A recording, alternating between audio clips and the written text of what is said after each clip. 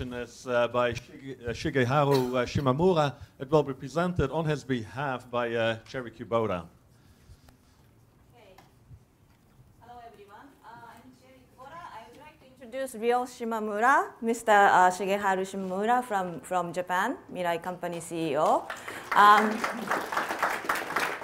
we are so glad to have this opportunity to present what uh, Mirai is doing. Um, the title of this presentation is Indoor Cultivation for the Future, uh, with the hope that this country has that kind of applications in the near future. But what we are talking about today is the current status. So it's now, the technology used now. Okay, a um, little bit of background of Japanese situation. Um, there is an increasing pressure for agriculture to change because aging industry, uh, family-oriented small industries or small family farms. So there's a huge pressure for that. What to do with Japanese agriculture. And then also uh, uh, there is a huge public concern about uh, uh, food safety. Uh, where the food is coming from and how much pesticide is used, and recent nuclear uh, power plant disaster added even more concern over the fresh uh, fruit, uh, fr- fresh fruits and vegetables. And there is a trend, increasing interest in plant uh, factories in Japan, indoor cultivations in Japan. And certainly we have uh, advantages. Number one is a very strong support and understanding from local and national governments. And then also consumers' appreciation about uh, technology, high-tech agriculture. So the growers don't need to sell necessarily uh, it is from organic or it is from traditional farmland. Um, to do indoor cultivations, you really need two types of technologies. One is hardware, the other one is software. Hardware, uh, the, the, the, systems need to be affordable.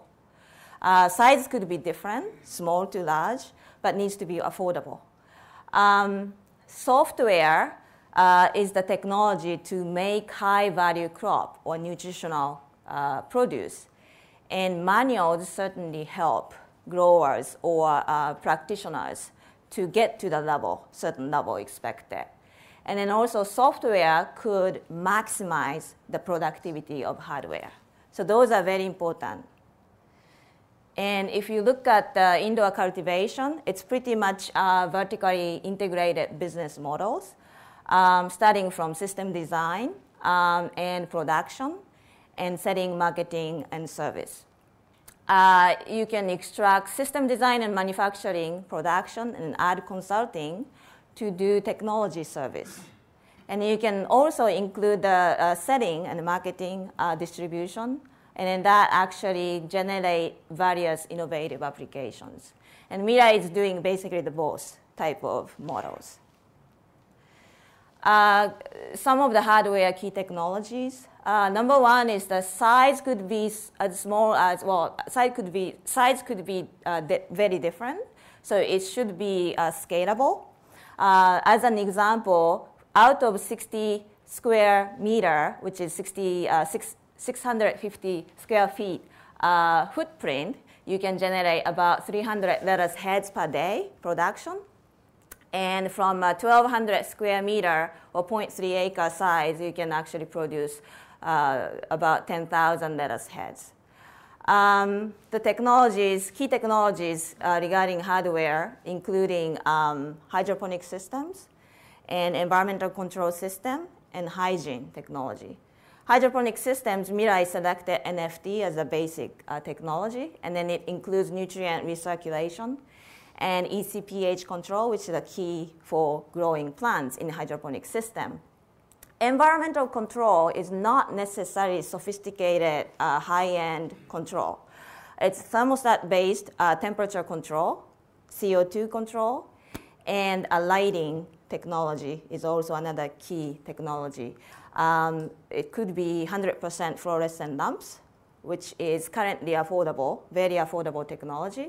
And LED is, is, is kind of getting into the market um, uh, as, a, as a plant lighting system, and uh, they could actually combine fluorescent lamps and LEDs. hygiene technology is very important because um, that is the technology to assure your consumers to uh, uh, assure consumers the value of the crop. Uh, no pesticides, no pathogens. Uh, so uh, air cleaning technology, filtering technology, and air shower for workers before entering. And even some of the facilities of Mirai uh, force the workers to actually take shower and change clothes to get into the system to complete, complete the removal of pathogens and pests getting into the system. Uh, typical production schedule um, regarding lettuce, starting from seeds and all the way to harvest, uh, it's about 30 days. Somewhere in between, depending on the species, depending on the cultivar, there's a one transplanting. So the, from seed to uh, transplanting, it's a high density production. And then transplanting to the harvest, it's an optimized density production. Um, and then this is a picture. Left-hand side is the high-density production, and right-hand side is the optimized density final production. And note that the distance between growing surface and light, it's very, very minimized so that you can maximize the space use. Um, some of the competitive advantages uh, compared to other production systems, food safety, traceability, uh, little waste. Uh, for example, I have some pictures in here. In uh, indoor cultivation system, um, uh, 97 to 98 percent uh, harvestable aerial biomass. So that, in, in another word, waste is only 2 to 3 percent. In the open field production, 60, 70 percent are harvestable, uh, and waste is 30 to 40 percent. Because you know, you can imagine outer leaves are not harvestable um, romaine lettuce maybe more than that waste because basically you only harvest the heart of the romaine lettuce head. Um, standardized quality, you can assure the same quality year round so that there is a maximum uh, marketing power because you can promise the supply year round. Software part, again, is very important. Uh, the company has right now 40 plus different leafy crop herb growing manuals. That helps, particularly for beginners to start. And then the company also um, uh, provide uh, consultation uh, for beginners to get this uh, uh, technology in. Okay, um, talking about quality of the produce, in that um, open discussion, we talked about nutritional value and flavor. And that's actually um, opportunity, new opportunity for indoor cultivation. Um, this is a little e- equation. Um, flavor is a function of uh, genotype, which is biology, species and cultivars, what kind of vegetable it is, and environment as another variable. And then the third is human perception. For example, Asian people like to have stemmy vegetables, crispy vegetables but may not be so in American culture. So depending on the culture, your requirement is very different.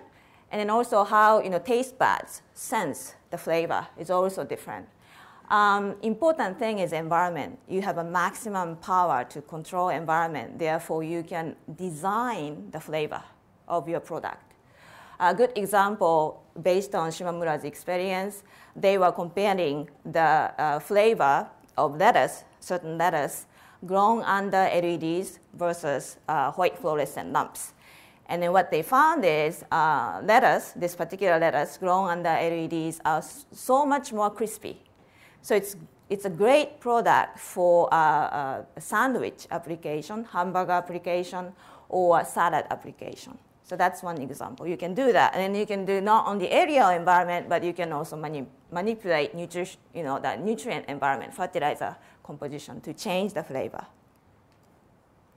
Okay, so the company has uh, several uh, uh, plant factories or systems to do the indoor uh, cultivation. Right now, 14 uh, factories uh, in operation, and majority of them are basically producing vegetables and herbs, you know, leafy greens to sell. but some of them are very unique applications, and I would like to introduce that to you. So this one is um, a combination of retail, retail store, and indoor cultivation. So this tiny store located in suburban area near Tokyo, which is in Kashiwa, um, has small uh, indoor production facility inside the same building, and they can sell the produce out of that store. So basically, you're talking about zero transportation. And then you can see that as an urban uh, version of roadside stand. But it's, it's a great idea, and then the building is not new, so it's a renovation based uh, application. And another example this is a restaurant combined with indoor cultivation. This Japanese, relatively large Japanese restaurant chain, having 200 or more locations all over in Japan, recently developed a, a facility uh, with this company. Um, and that facility is producing six tons of Mizuna leaves uh, for providing, uh, uh, uh to provide um, the lettuce to uh, um, 100 of chain restaurants in Japan. Mizuna is quite nice leafy veggies if you are not familiar with. Actually, it is one of my personal favorite. And then I always look for someone to start um, Mizuna production in US. Okay, another restaurant example. This is an Italian restaurant, um, a large pizza restaurant chain with uh, about 60 locations in Japan. Um, uh, have the indoor production capacity of romaine lettuce for their salads. So there are lots of applications and uh, interesting applications uh, uh, going on. Uh, unique applications uh, include some of the projects going on after the 311 disasters, nuclear power and tsunami and earthquake. Um, there is collaboration going on with uh, GE Japan, General Electric Japan, to build an indoor cultivation farm near uh, in Miyagi Prefecture, uh, the um, epicenter or near the epicenter of that disaster. Another interesting project is um, kids vegetable farms. Um, it's a school project uh, uh to support um, uh, STEM education, science, technology, education and to support lunch program in Fukushima area, Japan. So those are also going on.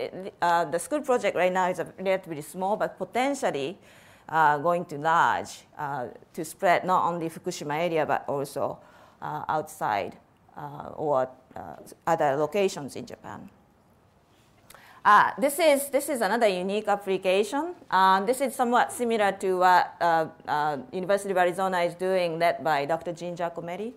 But um, Shimamura did this project uh, back in 2008. Actually, the project itself started several years earlier, and then the production started in 2008. This is a combination of extreme climate and indoor cultivation. So the small facility located in South Pole, Showa Station, Japanese uh, station, uh, now has a very small but um, uh, functional um, indoor cultivation system to support the um, nutritional demand and also psychological support uh, for the workers and engineers in that station. And then Shimamura is, is providing an online consultation, or Shimamura's company provi- providing that consultation to that uh, uh, people. Okay, another unique application. This is a shopping mall and indoor cultivation.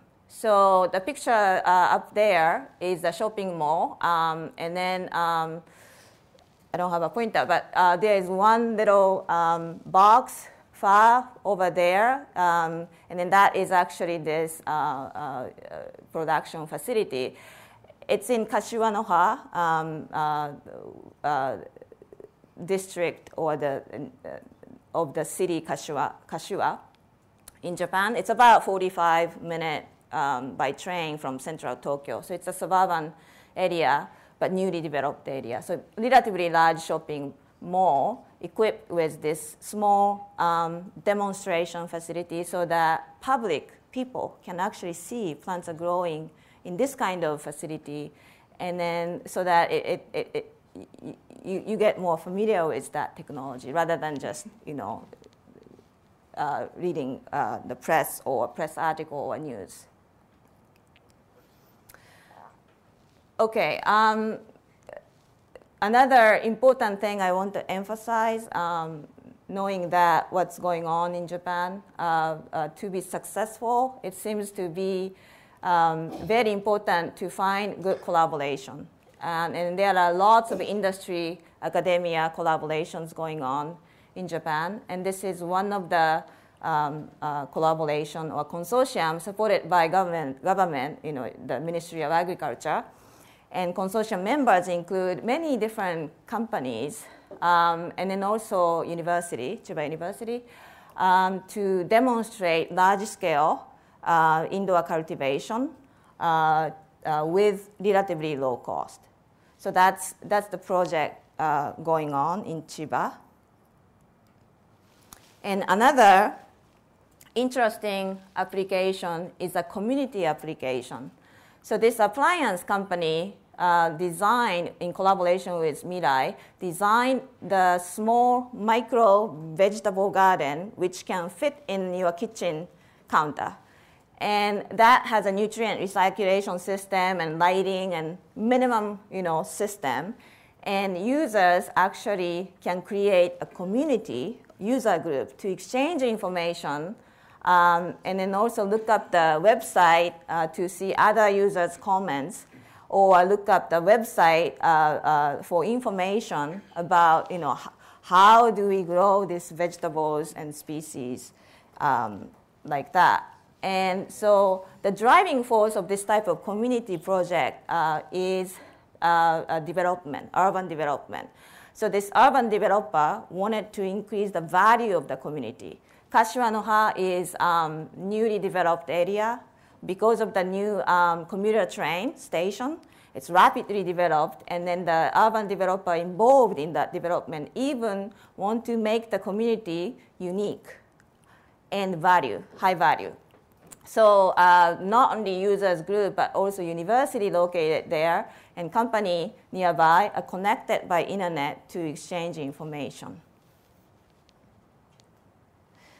All right, some of the economic analysis. Um, uh, I'd like to show in here.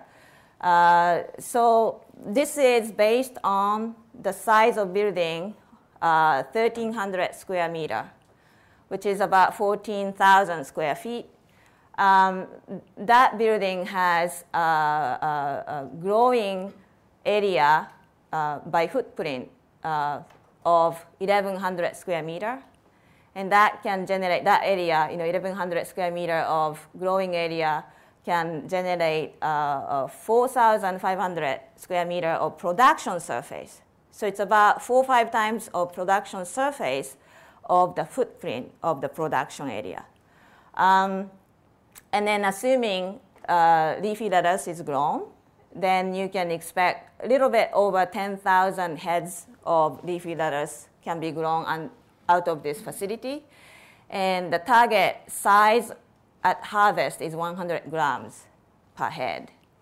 And NF, NFT system and lighting includes LEDs and white fluorescent lamps, so the combination of those. And other equipment is a standard, you know, cooling and um, seedling production system, irrigation tank, and all that. Uh, equipment facility life, the building itself, this is a newly constructed building, but uh, uh, the facility life or the building life is 20 years. And production systems uh, life is uh, seven years and 15 years for everything else.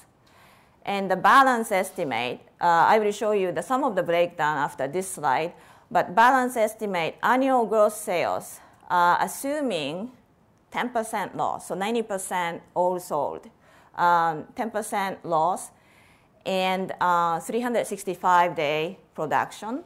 And then the sales is about uh, 4.1 million US dollars. Um, that is based on about uh, well uh, five dollars sixty eight cents per pound. I think it's uh, twelve dollars. Uh, sorry, um, uh, twelve dollars per kilos. So that's that's about the number. Um, and then annual costs that include uh, all the operational costs operation costs, and then also um, depreciation is about four, uh, $3.4 million, and then that is translated as 4.70, so $4.70 uh, uh, cost per pound. So you can see that it's, it's generating the net profit, and therefore you can actually expect investment return after six years. Um, the next slide is showing um, some of the breakdown. So out of the, well, capital cost to build that facility um, uh, is 7.4, 7.4 million US dollars. And half of that is basically for building and construction. And then the other half is equipment and facility, including NFT system, lighting system, all that inside. Um, annual operation cost is $3.4 million, and about 26%, one quarter, is for salaries and wages. Uh, assuming two full-time workers and uh, uh, hourly laborers, uh, 210 hours per day, $10 uh, wage per hour. And, um, and then the next largest or equivalently large uh, item is utilities. So electricity and then also water. And electricity is, of course, uh, the, the, the, major part of the utility cost. And then uh, uh, depreciation is 22%, and so that's the breakdown of um, uh, operation cost.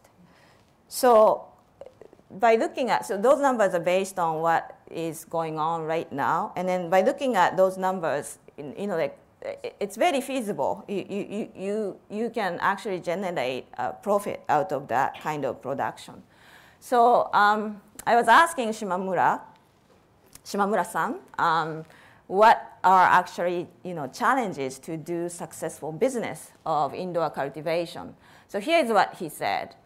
Um, basically, it is all about people working there, the right kind of people with right kind of experience and education is the most important part. So uh, he, he gave a great example. So just like uh, wineries need a great viticulturist, and then also sake makers need a sake um, a masters. Uh, indoor cultivation facility requires a good, educated, trained uh, people having that skill and then also uh, knowledge, um, experience. And indoor cultivation, this is the second point Shimamura made. Uh, indoor cultivation will never be the same as industrial factory manufacturing. Even though we call plant factory, but it's not exactly plant factory. Uh, because it's not always one plus one equal two situation. Um, so it's, it's, it, it, is it is difficult to apply sometimes a linear um, approach. So you have to take nonlinear approach because it's a biological system and because it's agriculture business. So those two points um, are very important. And then I, I would like to end this presentation with that. Thank you so much.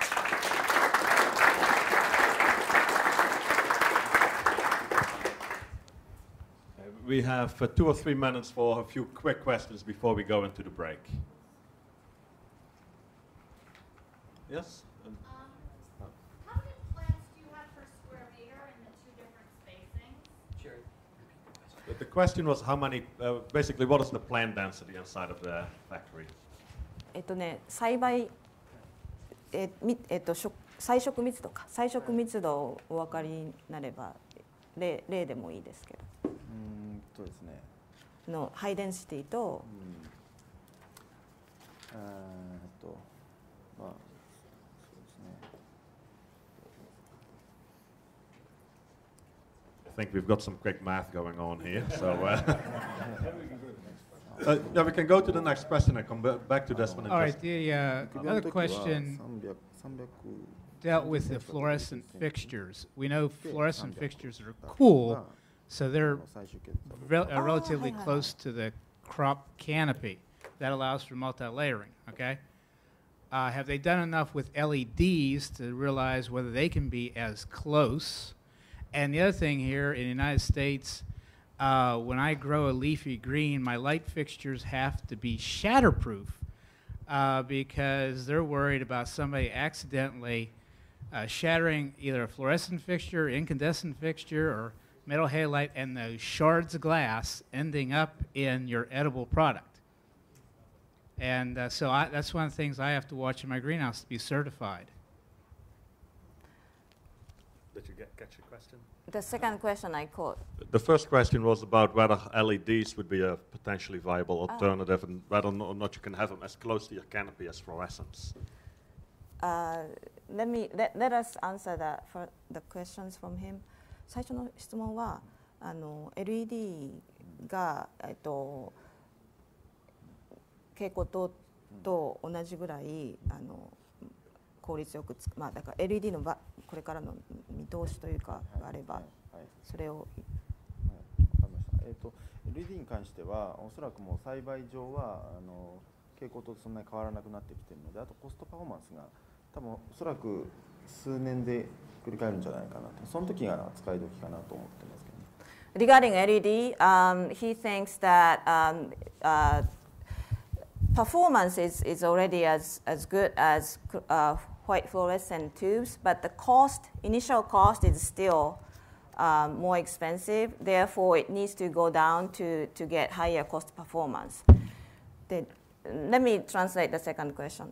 2番目のクエスチョンは、えーと、あのあそうだそうだあのガラス管ですよね、はい、あの蛍光灯、はい、でそれを要するにあの室内で使うっていうと例えばそれが割れた時にあの野菜の上にこうバーッとかかったりとかいうようなそういうなんかこう危険物取り扱いみたいな扱いになったりとかはしないかどうか日本の場合はないですね。日本の場合はないですね。ヨーロッパの場合はあの基準が厳しいとは聞いたことあるんですけど、日本の場合はそれはないのと今あのカバーを全部かけてますので So regarding the second question, um, uh, the company is actually using uh, um, outer uh, plastic uh, covering materials to prevent shattering of the fluorescent glass. And Japan doesn't have a regulation itself, like, and then he knows that some of the European countries have that regulation to avoid the, the you know, the fluorescent tubes over the food crop. And oh, then first question uh, Jen asked, uh, so the density, 300ですか300ね。Uh, 300, the first stage of density, 300 plants going into the area of roughly one foot by six, two, one foot by two feet. And then the final density is six plants in the same area. Thank you. It's uh, time to move on to the break. I assume there are refreshments in the hallway. I would like to thank all of the speakers again for their, uh, their great talks. Uh, please be back here sharp at 3.30 so we can stay on schedule. Thank you.